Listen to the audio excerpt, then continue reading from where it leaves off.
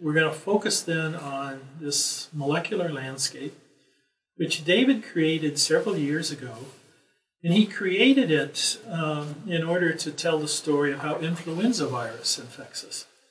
And as I think we've mentioned before, there's a lot of similarities between influenza virus, that would be this virus here, with the hemagglutinin protein on the outside, and the coronavirus, is also an enveloped virus with spike proteins.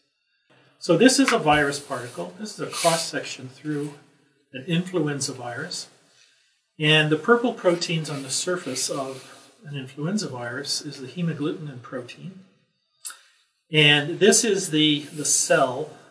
This blue, blue field up here is the cytoplasm of the cell that the influenza virus is trying to infect.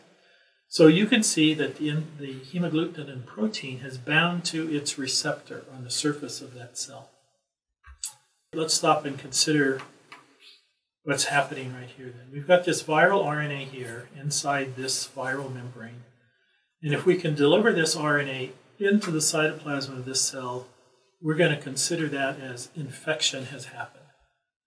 Okay, but so the question then is how do you get this RNA across this membrane, the viral membrane, and this cell membrane so that this RNA is delivered into the cytoplasm of the cell it's trying to infect? So you might think that something magic happens, and you know we could simplify this and just say yes, as a result of this interaction between these two proteins, the RNA is delivered. That'd be easy to say, and it's not very interesting. Science is fascinating when you consider the molecular mechanisms whereby these things happen. So I'm going to I'm going to try to explain that in a series of three panels here. The key to this is to recognize that as a result of this interaction between something outside of the cell and one of its proteins in its cell membrane, it's going to trigger what is called receptor mediated endocytosis. It's a great phrase you should all practice saying. Use it in a conversation three times today, and you'll be able to use it for the rest of your life.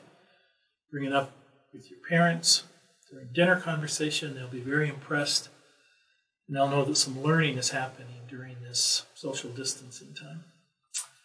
All right, receptor mediated endocytosis. What is that? Well, the cell actually actively engulfs this thing that's bothering it on the outside. So, how does that happen? Well, there's a protein inside this cytoplasm called clathrin.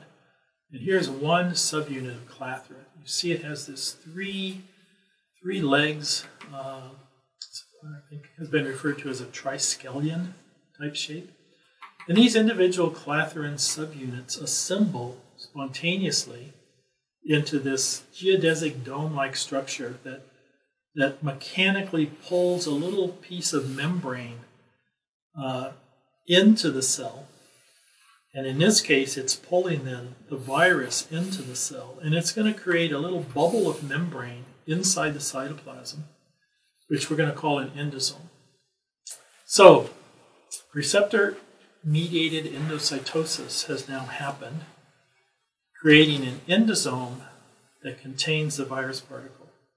So, in this panel, we're looking at the virus particle here inside an endosome. This is still the cytoplasm here, where we're trying to deliver this RNA across this viral membrane and this cellular membrane to complete the infection cycle. So now here's here's the real here's the real conundrum. So remember this is a this is a model of the hemagglutinin protein that has docked the virus onto the, the cell surface. So the very thing that has now docked the virus, this, this end is embedded in the viral membrane. So you have to imagine that the viral genome, the RNA, is behind this membrane.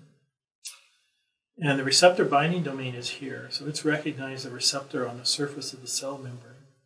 So the very protein that has docked the virus onto this membrane is now an impediment to the further merging of these two membranes which will create a hole which will let the, the virus move into the cytoplasm behind this membrane. So somehow this protein that initially brought the virus to the cell has to get out of the way so these two membranes can approach closer together. Hi there, Mark here, a colleague of Dr. Tim Herman's.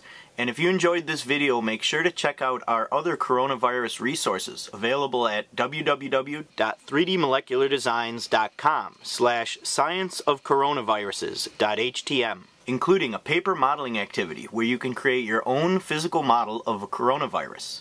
We hope you enjoy, and thanks.